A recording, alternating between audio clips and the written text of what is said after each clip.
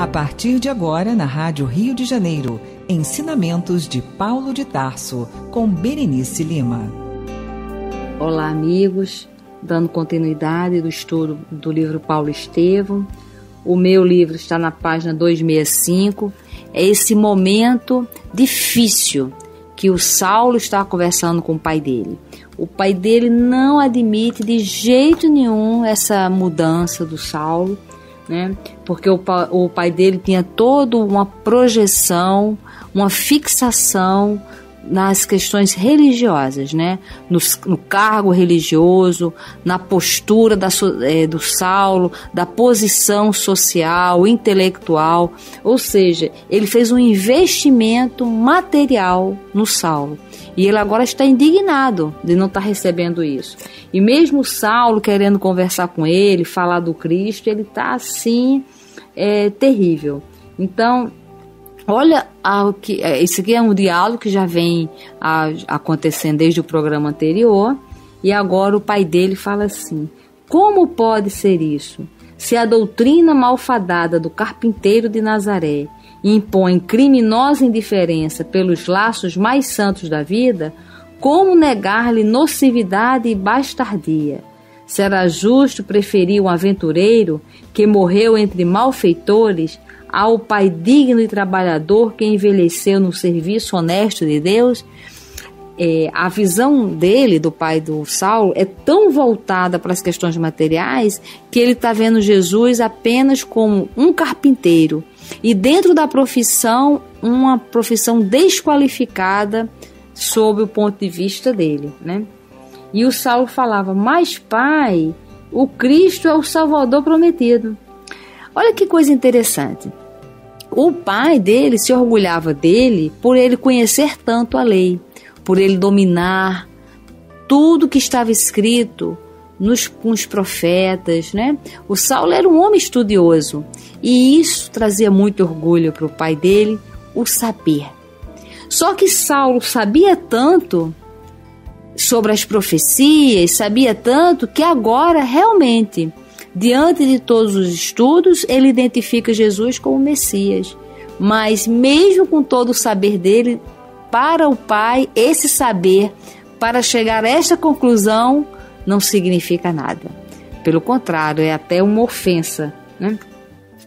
E imagina, o pai dele é, com, com tantos é, valores materiais, é, identificar e aceitar um Messias que vem de uma condição de, de uma carpintaria, então realmente isso para o pai dele não, não funciona mesmo, não. E aí o Emmanuel disse que com isso o, Isaac pareceu agravar a própria fúria e fala: blasfemas, não temes insultar a providência divina? A esperança de Israel não poderia repousar numa fronte que se esvaiu de sangue do castigo entre ladrões. Estás louco, exijo a reconsideração de suas atitudes. Então o pai dele representa bem o Saulo quando era Saulo, né?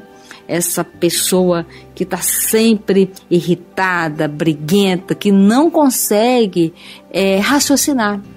E esse é um grande ensinamento para a gente.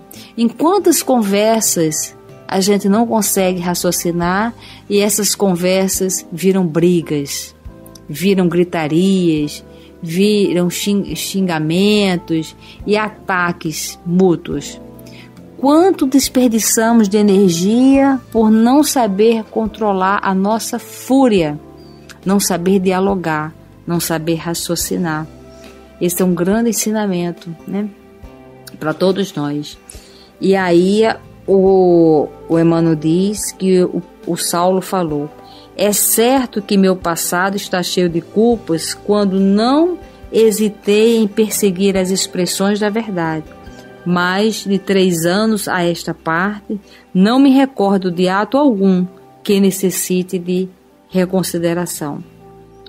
O pai dele pareceu atingir o auge da cólera e exclamou áspero: Sinto que as palavras generosas não enquadram a tua razão perturbada.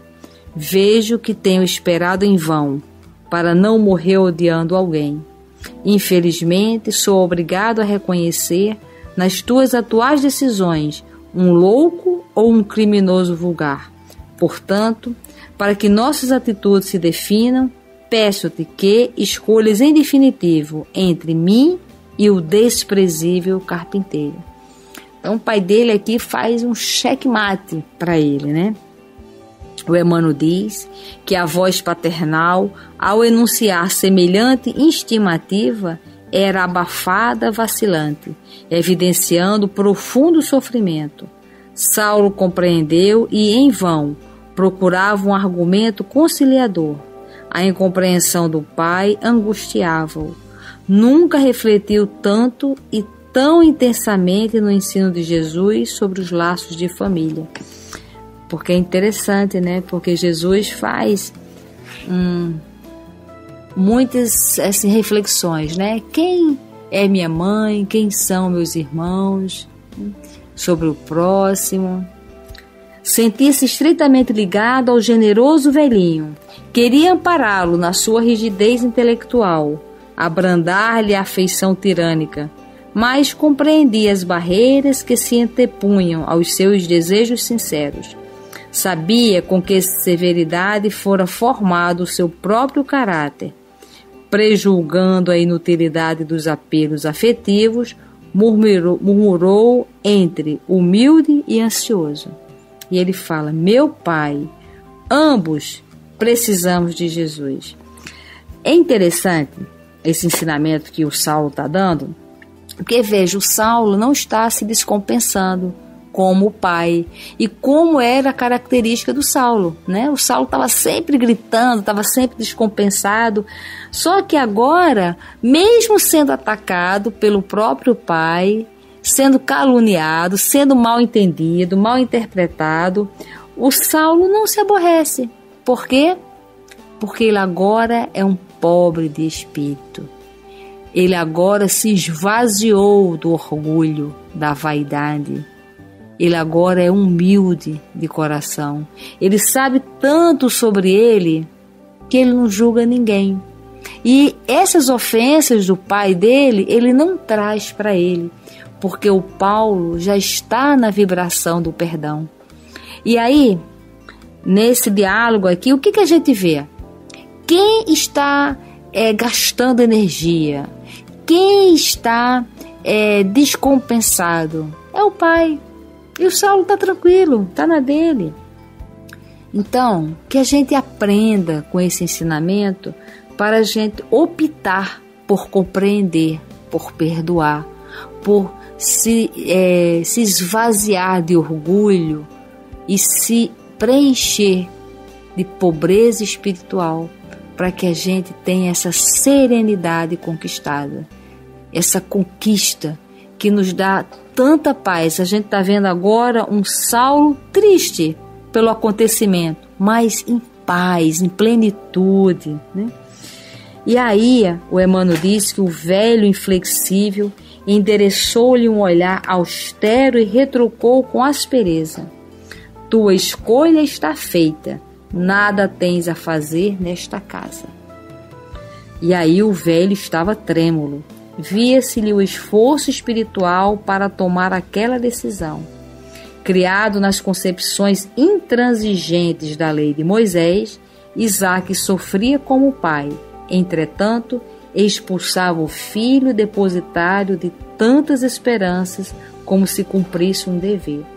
Então, é uma, uma dica aqui que o Emmanuel está dando, que o pai dele estava é, sempre foi criado nessas concepções intransigentes da lei de Moisés. Será que nós somos intransigentes? Isso é uma reflexão que cada um de nós tem que fazer, porque a gente precisa aprender. Esse é um grande ensinamento. Como a pessoa intransigente sofre. Ela fica cega, ela não vê nenhuma saída, ela é orgulho puro tem que ser daquela maneira. E como é intransigente, aí o que, que acontece? Sofre e muitas vezes adoece. E o Emmanuel diz que o coração amoroso sugeria-lhe piedade, mas o raciocínio do homem encarcerado nos dogmas implacáveis da raça, abafava-lhe o impulso natural. Saulo contemplou em atitude silenciosa e suplicante. O lar era a derradeira esperança que ainda lhe restava. Não queria crer na última perda. Cravou no pai os olhos quase lacrimosos e, depois de longo minuto de inspeção, implorou num gesto comovedor que lhe não era habitual. E aí ele diz: Falta-me tudo, meu pai. Estou cansado e doente, não tenho dinheiro algum, necessito da piedade alheia. E acentuando a queixa dolorosa, falou: Também vós me expulsais? Isaac sentiu que a rogativa lhe, vibrava no mais íntimo do coração. No entanto, julgando talvez que a energia era mais eficiente que a ternura, no caso, respondeu secamente: Olha o que, é que o pai dele fala para ele. Corrige as tuas impressões, porque ninguém te expulsou. Foste tu que votaste os amigos e os afetos mais puros ao supremo abandono. Tens necessidades? É justo que peça ao carpinteiro as providências acertadas. Ele que fez tamanhos absurdos terá poder bastante para valer. Então, o pai dele perdeu uma grande oportunidade de dar um passo à frente.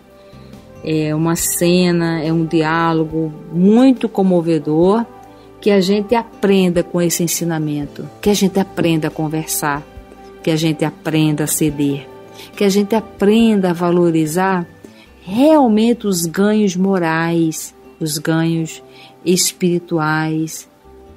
Porque se a gente tiver esse olhar, com certeza nós vamos enriquecer a nossa caminhada.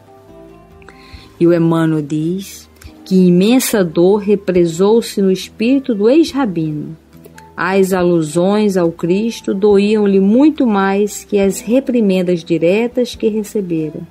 Sem conseguir refrear a própria angústia, sentiu que lágrimas ardentes rolavam-lhe nas faces queimadas pelo sol do deserto nunca experimentara pranto assim amargo, nem mesmo na cegueira angustiosa, consequente à visão de Jesus, chorara tão penosamente. Então nós estamos vendo assim um Saulo com dor, né? E chorando, é, vivenciando essa dor, sem julgar o Pai, sem amaldiçoar, sem cobrar, apenas vivenciando. E o Emmanuel diz que, não obstante esquecido em uma pensão sem nome, cego e acabrunhado, sentia a proteção do Mestre, que o convocara ao seu divino serviço. Guardava a impressão de estar mais perto do Cristo. Regozijava-se nas dores mais acerbas, pelo fato de haver recebido às portas de Damasco o seu apelo glorioso e direto. Todavia, depois de tudo, procurava em vão apoio nos homens para iniciar a sagrada tarefa. Os mais amigos recomendavam-lhe a distância. Por último, ali estava o pai, velho e abastado, a recusar-lhe a mão no instante mais doloroso da vida. Expulsava-o. Manifestava aversão por suas ideias regeneradoras. Não lhe tolerava a condição de amigo do Cristo no pranto que lhe borbulhava dos olhos, recordou-se, porém, de Ananias. Quando todos o abandonavam em Damasco, surgira o mensageiro do Mestre, restituindo-lhe o bom ânimo. Seu pai falara-lhe, ironicamente, dos poderes do Senhor. Sim, Jesus não lhe faltaria com os recursos indispensáveis, lançando ao genitor um olhar inesquecível, disse humildemente: Então, adeus, meu pai. Dizeis bem, porque estou certo de que o Messias não me abandonará. Isto, gente, é fé. Isto é saber. É, no capítulo de Mateus, no capítulo 6, que vem falando, explicando para nós o que, que é o reino dos céus, onde está. Onde ele começa falando que o reino dos céus não está nem aqui, nem ali, nem acolá. Ele está dentro de vós. Então é essa certeza dessa plenitude de saber que precisamos andar no caminho reto, que o Pai nos proverá quando nós estamos no caminho reto, no caminho da ascensão, tudo acontece a nosso favor. Só que a gente é acostumado a reservas. A gente tem coisas, coisas e mais coisas e a reserva da reserva. Então, nós não sabemos viver com o básico, com o necessário. A gente precisa do supérfluo. E esse é um grande ensinamento.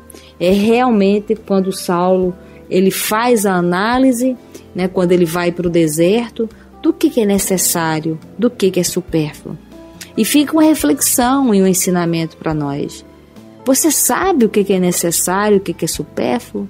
As suas os seus choros, os seus desejos são pelos necessário ou pelo excesso, pelo supérfluo. E quantas vezes nós sofremos tanto por coisas materiais que a gente não, se desencarnar agora, a gente não leva. Nós levamos o nosso tesouro. E Jesus explicou que o nosso tesouro é tudo aquilo que o ladrão não rouba, a traça não rói, o ferrugem não corrói. Então, o Emmanuel disse que, a passos indecisos, aproximou-se da porta de saída. Vagou o olhar nevoado de pranto pelos antigos adornos da sala. A poltrona de sua mãe estava na posição habitual. Recordou o tempo em que os olhos maternos liam as suas primeiras noções da lei. Julgou divisar-lhe a sombra, ali acenar com amoroso sorriso. Jamais experimentara tamanho vácuo no coração. Estava só, teve receio de si mesmo, porquanto jamais se vira em tais conjuntura. Depois da meditação dolorosa, retirou-se em silêncio, olhou, indiferente, o movimento da rua, como alguém que houvesse perdido todo o interesse de viver. Não dera ainda muitos passos no seu incerto destino, quando ouviu chamarem-no com insistência. Deteve-se à espera e verificou tratar-se de velho servidor do pai, que corria no seu encalço. Em poucos instantes, o criado entregava-lhe uma bolsa pesada, exclamando em tom amistoso. Vosso pai manda esse dinheiro como lembrança. É, aí agora vamos ver aqui uma explicação que o Emmanuel dá sobre essa atitude do pai. Saulo experimentou no íntimo a revolta do homem velho. Imaginou invocar a própria dignidade para devolver a dádiva humilhante. Assim procedendo, ensinaria ao pai que era filho e não mendigo. Dar-lhe-ia uma lição, mostraria o valor próprio, mas considerou, ao mesmo tempo, que as provações rigorosas talvez se verificassem com assentimento de Jesus, para que seu coração, ainda voluntarioso, aprendesse a verdadeira humildade. Sentiu que havia vencido muitos tropeços que se havia mostrado superior em Damasco e em Jerusalém, que dominara as hostilidades do deserto, que suportara a ingratidão dos climas e as canseiras dolorosas, mas que o Mestre agora lhe sugeria a luta consigo mesmo, para que o homem do mundo deixasse de existir, ensejando o renascimento do coração enérgico mas amoroso e terno do discípulo.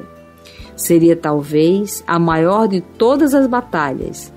Assim compreendeu em um relance e, buscando vencer-se a si mesmo, pegou a bolsa com resignado sorriso, guardou-a humildemente entre as dobras da túnica, saudou o servo com expressões de agradecimento e disse: esforçando-se por evidenciar alegria. Sinésio, conte a meu pai o contentamento que me causou com a sua carinhosa oferta e diga-lhe que rogo a Deus que o ajude. Gente, essa cena é de um significado muito legal. É um grande ensinamento, porque é, nós às vezes precisamos de ajuda. Aí a gente pede ajuda. Aí a pessoa não ajuda daquela maneira, mas ajuda de outro. E o nosso orgulho, a gente fala, então desse jeito não preciso, então desse jeito não quero. E a gente às vezes piora a nossa situação por conta do nosso orgulho. E o Saulo aqui, ele teve vontade de fazer isso. Mas ele falou: Olha, se eu fizer isso, eu não vou ficar diferente em nada do meu pai. Então, ele precisava do dinheiro e pegou o dinheiro e falou: Sinédrio, fala para o meu pai que eu fiquei muito feliz com isso. É de uma sabedoria muito grande. E a gente percebe que as atitudes sábias traz um conforto para a alma. E essas atitudes sábias, elas acontecem quando não há o orgulho, a vaidade, e sim quando há estabelecido a bem-aventurança do pobre de espírito, da humildade. Gente, a gente precisa entender essas passagens. A gente precisa é, seguir o Saulo, vivenciando o Saulo, para que a gente também é, tire de nós né, esse lixo do orgulho e da vaidade que causa tanto transtorno em nossas vidas. E aí o Emmanuel disse que, seguindo o curso incerto de sua nova situação, viu na atitude paterna o reflexo dos antigos hábitos do judaísmo. Como pai, Isaac não queria parecer ingrato e inflexível, procurando ampará-lo, mas como fariseu, nunca lhe suportaria a renovação das ideias. Então ele sabe sobre o pai dele, mas respeita. Né? Com ar indiferente, tomou leve refeição em modesta locanda. Entretanto, não conseguia tolerar o movimento das ruas. Tinha sede de meditação e silêncio. Então ele já era um homem que precisa desse dessa assim, dessa privacidade, né? Então ele precisava ouvir a consciência e o coração antes de assentar os novos planos da vida. Procurou afastar-se da cidade como eremita anônimo, buscou o campo agreste. É um ensinamento muito bacana esse aqui que ele vai fazer agora uma reflexão de tudo o que aconteceu. Vai pensar o que falou, o que ouviu, as decisões. Ele vai pensar sobre tantas coisas para tomar uma nova decisão. Esse é um ensinamento fantástico, porque quantas vezes a gente toma uma decisão atabalhoadamente? A gente toma uma decisão sem fazer reflexão, sem pensar, e a gente vai tomando uma decisão atrás da outra que muitas das vezes é, dá problemas. E às vezes a gente sabe que dá problema, mas mesmo assim a gente é, segue firme. Por quê? Por conta do orgulho. Aí a gente não quer abrir mão. E no final das contas, quem é que sofre? Nós. Então, gente, que a gente medite nessas ações, que a gente faça um replanejamento nosso, das nossas atitudes, dos nossos objetivos e assim caminhemos passos firmes rumo ao nosso progresso espiritual. Muita paz. Você ouviu na Rádio Rio de Janeiro Ensinamentos de Paulo de Tarso com Berenice Lima com Berenice Lima. Com Berenice Lima. Com